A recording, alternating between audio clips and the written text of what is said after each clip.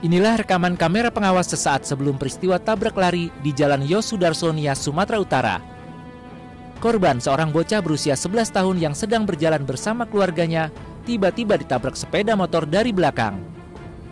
Korban kemudian terlindas, sementara penumpang sepeda motor yang dibonceng sempat terjatuh.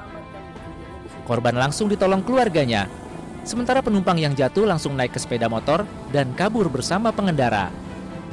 Polisi kini menyelidiki kasus ini. Video dari kamera pengawas yang terdapat di Jalan Yosudarso Gunung Sitoli, Sumatera Utara dijadikan barang bukti. Untuk saat ini, kami dari unit Gakum Satlantas Polres Nias masih melakukan penyelidikan terkait uh, keberadaan dan identitas pengendara sepeda motor yang sesuai yang terlihat dalam video pengendara sepeda motor warna biru. Untuk saat ini dari personil kita masih tetap melakukan penyelidikan terhadap identitas dan keberadaan dari pengendara. Terima kasih. Polisi meminta masyarakat melapor jika mengetahui identitas pelaku.